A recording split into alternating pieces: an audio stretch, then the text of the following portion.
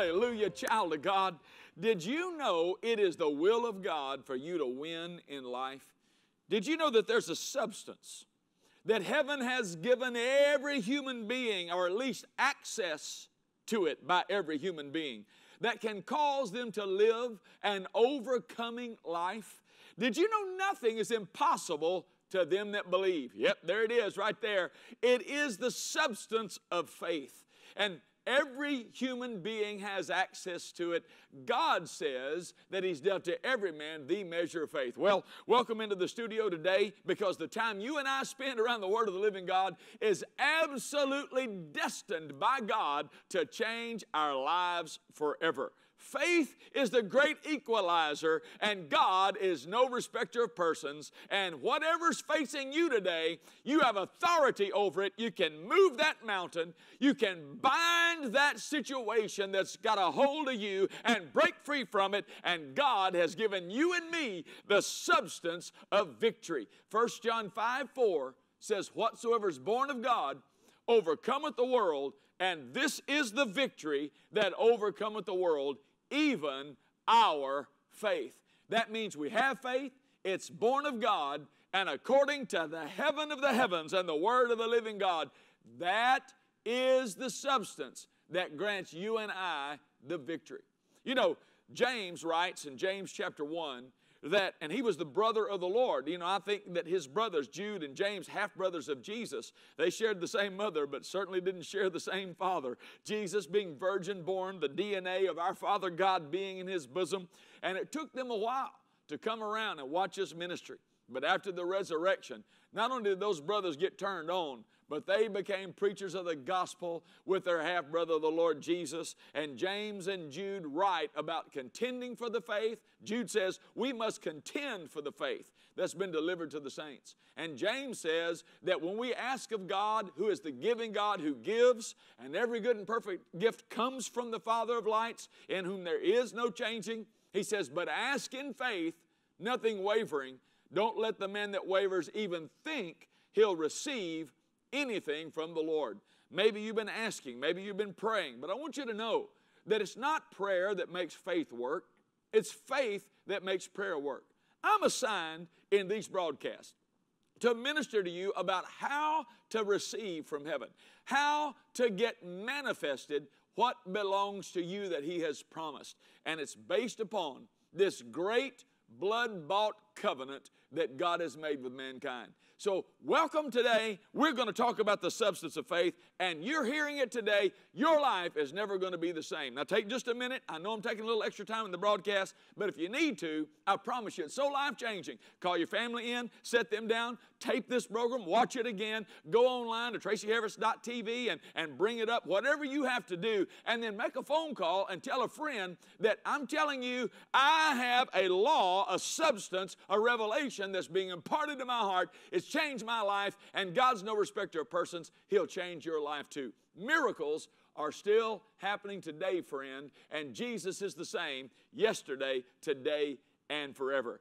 Well, now let's get to this thing. If you happen to have your Bible, and we'll bring these things up on the screen, but I want to talk about something recently that the Lord actually talked to me about and talked to me about sharing with you. And it's found in Matthew's Gospel, chapter 14, and it's a great story that many of you, if you were in Sunday school or grew up in church, you've heard this story. Possibly you've read this story. But Matthew 14 says this it says that Jesus had finished feeding the multitude, and when he did, he put them in a ship. And when he constrained them to get into that ship, they went before him to the other side, and he sent the multitudes away. That's Matthew 14 22. Then it says, Jesus when he had sent the multitudes away, went up into the mountain apart to pray.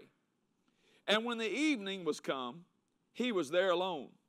But the ship was in the midst of the sea, tossed with waves, for the wind was contrary. Now, I want to talk to you about God is giving you a command. He's telling you it's His promise. He's telling you it's His will for you to go to other side of this obstacle. And what we're going to find is they faced opposition, And this opposition was not only the natural elements, but as you read the story, Jesus winds up casting the devil out of a man in the country on the other side. So, this storm that was arising against them had a demonic spiritual origin to it, but it's also a natural thing that would induce their senses to fear. And here they are in their own strength doing everything they can to make headway and are making no headway in the darkness of night with no modern equipment with lights. And you know what was beginning to close in and grip on them. It looked like there's no possible way we're going to make it through this situation.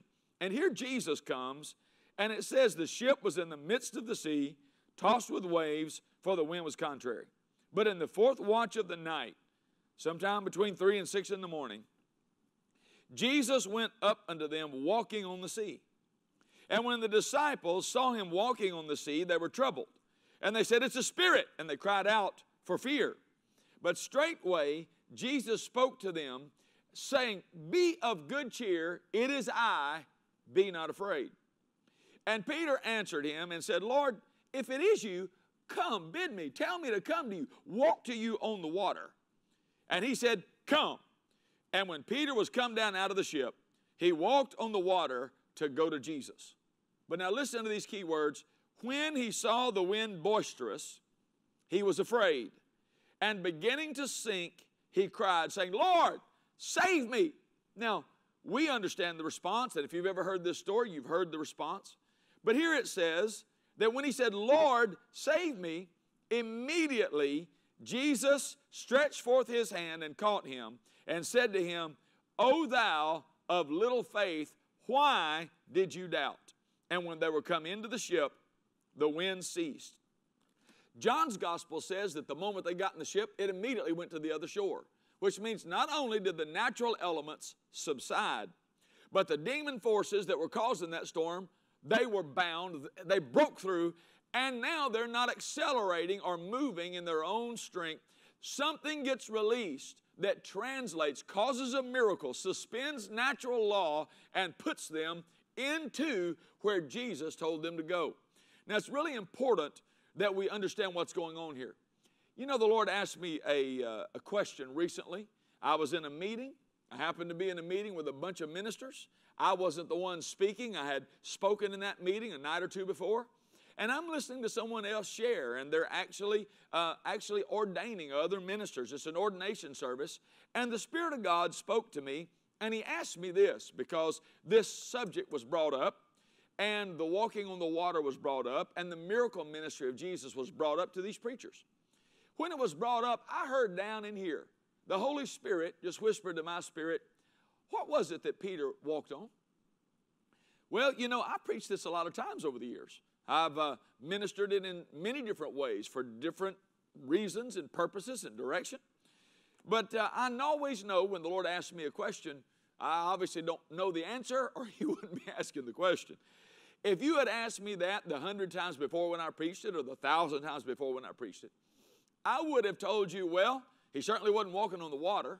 I mean, he was. In actual fact, they saw that and he began to sink in the water when he got distracted. But clearly, it wasn't the water holding him up. And I used to say, and I would say quite obviously, uh, honestly, I would say he was walking on the Word.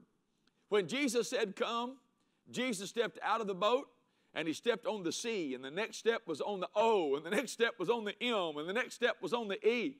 And so I just said, Well, Lord, I've always said that he must have been walking on the Word, that the Word's what held him up. And the Spirit of the Lord said to me, He said, What did I say to him?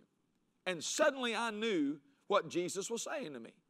He said, when Peter began to sink, he said, Oh, you have little faith, why did you doubt? The moment that the Lord said that to me, it's just like suddenly my eyes were open and I saw it. Yes, the Word was what he was walking on, no doubt about that, because this world's hung upon the Word, it's created by the Word. But how did that Word, what substance was it that caused the Word to create the world? And suddenly it came alive in me. Hebrews 11 1. Now, faith is the substance. It's the substance of things hoped for, it's the evidence of things not seen. And just gently, the Lord Jesus, by His Spirit, whispered into my spirit, Peter was walking on the substance of faith. And the reason God wanted to tell me that is because He's saying to me, You have that same substance in you. Whatever it is you're facing that seems like you can't get through it, whatever it is that's screaming, you're not going to make it this time, you're going to sink, it's not going to work. He's saying you have something in you that's greater than everything and even the natural law that's on the outside of you. And what's in you is going to put you over past the obstacle, past the situation. It's going to storm, still the storm. It's going to move the limits, and it's going to put you into the destination. That is the physical, tangible. I can touch it, I can see it, I can hear it, I feel it. God's Word manifesting, becoming reality in my life and in your life. When I saw this, I saw that here it is. Now I understand that not everybody has a red letter edition of the Scripture, but when you see this in the Scripture and it's appearing in red, that means Jesus said it. That means Jesus identified Peter's problem. What was it that caused him to sink? Jesus said it in a phrase. He said, O you of little faith, why did you doubt? Now, there's a couple of things I want to say about this. Jesus clearly is saying that the lack of faith is what caused him to sink. Now, I know that sometimes that's hard to swallow from some folk because they say, well, this didn't turn out, that didn't turn out. I, I, I believed God with everything I knew how to do, and it didn't turn out. Listen, the problem here is not that he didn't have faith. Clearly, he had some faith because it says, Oh, you of little faith. So clearly, he had some faith. He had enough faith. He had more faith than the 11. He didn't stay in the boat. They're sitting in a dry dock boat. He clearly stepped out on the water. Wow, that's a heroic feat. And what I really want to say to you is this is not a condemning story. If when you get a hold of what I'm going to tell you, this will absolutely cause you to rise back up on top of something you may feel you've sunk down into, and it's going to break you through the situation. We have heavenly help. There's a heavenly substance that no matter what's blowing around us, no matter what's trying to stop us from getting there, no matter what is sucking us down into it, it doesn't have more authority than the faith that's on the inside of us. We have a substance that'll stop the wind, stop the waves, stop gravity, stop the prog- stop the limits and push us to the other side. And God is no respecter of persons. That faith is in you right now, and that's the faith I want to talk to you about. I don't really want to talk about the littleness of Peter's faith. I really want to talk about the substance that he did have. Did you know that even a little faith in Peter's heart gave him the ability to tackle an ocean? The problem is he didn't stay focused on the substance he had that put him over all the natural laws. That was the spiritual law set in motion that would dominate demon powers, dominate the circumstances around him, and as we know from the Word of God, dominate the law of sin and death and the curse. You know, there's three levels of laws. There are spiritual laws, which is the highest level of laws there are. Then there is natural law, actually, that, that like the law of gravity in the earth, and everybody's subject to it that are in a physical body. And then there's civil law, the magistrates that put out a speed limit or so forth. The highest level of law there is is spiritual law. Spiritual law, when set in motion and kept in motion, will always supersede, have authority, and effect over civil law and natural law. Now, I know what you're thinking. God says, honor those to whom honor is due. There's a grace that's attached with obeying the authorities and so forth. I'm not talking about just doing what you want to do and not paying your taxes and speeding at will and saying, well, God gave me grace. That is presumption. That's not the scripture. But we see what I'm talking about in the book of Acts. When the authorities, the religious authorities came to them, and it was religious law or civil law that was put upon the, the apostles and said, Don't teach, don't preach anymore in this name. You know what they did, don't you? They got beaten, they got even jailed. But they said, whether or not it's right to obey God or men, you decide what's right. Now, this is what I'm talking about. When Satan tries to use natural law or civil law to say it's not happening for you, when the creator of all of the universe and all of those laws told you to go to the other side, then the storm doesn't have authority. The command of going to the other side has authority. And then the gravity doesn't have authority. The command to go to the other side has authority. Then the demon powers don't have authority. They, the devil doesn't have the right to tell you whether you can do what God told you to do or not. And God told you to be healed. God told you to be prospered. God told you to be blessed. God told you to let your light shine. God said open doors of favor would come to you. God said that you are to walk in the blessing of your father Abraham. All of these things are bought and paid for by the covenant blood of the Lord Jesus Christ, and no devil in hell has the right nor the authority to tell you you can't go to the other side. When Jesus said, You go build that thing, you go start that business, you go walk in that healing, you go preach this gospel, you go on that missions trip, you do what I told you to do. I'm telling you right now, I see it in the spirit. I see it in the spirit. I see it in the spirit. There's a woman watching me right now. You are barren and have been unable to have children the doctors have told you you'll never have children. And you might say, Well, I've been told I'll never have children. And I'll say, Who told you? And you say, Well, the doctor did. You know what I'm going to say? Whew, I thought somebody that had authority told you that. Glory to God. God's the only one that has the authority to give life and then and then cause it to be. He doesn't bring something to the birth and turn it back. I'm telling you, under the authority of the mighty hand of God right now, in the name of Jesus, I command life to come into your womb. I command life to come into your female parts. I bind and break the power of anything you're born with or anything that's come against you. I bind endometriosis. I bind infertility. I bind anything that's spoken against you. I bind scar tissue. I bind uh, accidents and calamity and damage to organs. I bind it. I break its power. I command you to be fruitful, to multiply, to replenish the earth and subdue it. I'm telling you, you're going to watch this broadcast. You need to get online. You need to write our ministry because about this time next year, you will have a beautiful, healthy, glorious child as the promise of the living God. I'm telling you, I'm under the anointing right now in this studio. That's word of knowledge for you who are watching. Put your hand on your belly. I speak life. I speak life. I command that womb to have life. I command those ovaries to have life. I command your relationship to prosper. I command your marriage to be whole. I command the fertility in your husband to be whole. And the two of you will indeed see the hand of the Lord in Jesus' name. Now, here's what you've thought. Well, you know, maybe it's God's will for me to adopt. Let me tell you something. It absolutely probably is. Do you realize how many people are out there that when my mother and my father forsake me, then the Lord will take me up?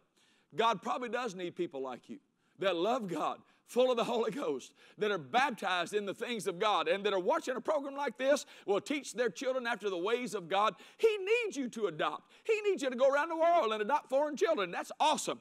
But adoption doesn't mean you can't have your own. Have both because Jesus' blood has provided for absolute breakthrough life in every area of our life. That's what I'm saying. I'm saying the substance of faith will break the limits of the natural realm and anybody that's not authorized to tell you no, and nothing is impossible to them that believe. Well, yeah, I'm stirred up under the anointing, and so I got to get back here so that we can talk about this substance a little bit more. Now, Jesus said to Peter, he's walking on the water. He said to him, Here's why you sank. Oh, you of little faith, why did you doubt? The issue wasn't that Peter didn't have faith, the issue was that he did have doubt. Now, when we look at the Word of God, Abraham was given a command that was absolutely impossible. His body was old and dead. Sarah's body was old and dead. But the scripture says he became fully persuaded in faith that what God had promised, he was able to perform it. And when he was about 100 years old, he had the promised son Isaac. And today, because Abraham obeyed God, God had made a covenant between Abraham and his seed, and the scripture is very, very clear about this in Galatians 3. If we be Christ, and I belong to him, don't you? If we be Christ, then we're Abraham's seed, and we are heirs according to the promise. Well, I'm just going to tell you, we're promised the same thing Abraham was promised. And Isaac came from a hopeless, impossible, dead situation. Faith is what brought Isaac into being. Faith is what gave Isaac substance. And your faith and my faith will give substance to our dreams as well.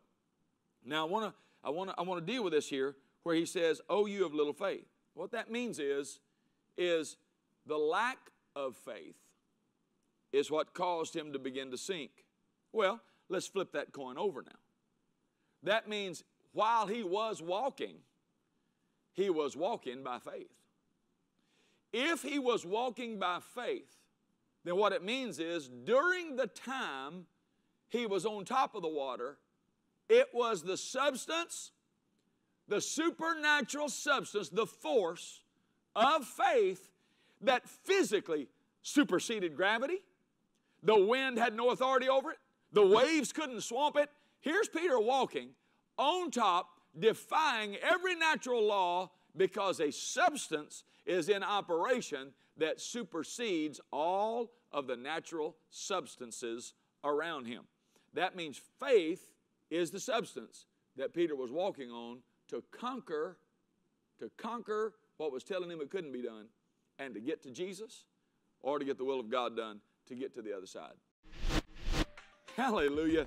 I tell you, I got so thrilled in the middle of that teaching when the Spirit of God took hold with us, and I know that that person that is believing God for that child is watching this program. I trust you're still watching this program, and you do need to connect with us. A miracle happened right in the middle of that teaching. What happened? The substance of faith rose up in you while I was teaching. Faith comes by hearing, and hearing by the Word of God. You know, one of the things about these programs that I love so much is being able to spend time with you. One of the things that's bittersweet about these programs is I absolutely hate running out of time. This is an everlasting gospel, and it's still working when we have to sign off the air, but we want to minister to you much greater, much more deeply than just the seed of this program that you're able to watch and the segment that it gets aired, even if it's aired more than one time during the week and around the world, and you're watching it, we want to be a part of your walking in the things of God and in the victory. One way we do that is our major assignment is to teach the body of Christ how to receive, how to harvest. We have a monthly teaching letter that I want to encourage you to go on our website, tracyharris.tv. It'll link you to our full website, and there'll be a banner. Put in your information, and we will get this paper letter to you every month where you can get your hands on it, where you can read it, where it will build your faith. This one is called Faith Puts an End to the Curse. It'll teach you how Jesus cut the roots out of that fig tree and the curse of barrenness was broken. You can also get online and uh, get make available to yourself. This is a mini book called Faith that's out of this world. It'll teach you how faith is a substance from another world. It'll rearrange everything and cause you to walk in victory. This book is called Press Beyond Measure. You know, we talked about that a little bit today about how that the disciples were pressed and as if they were out of their course. But God has a plan for you.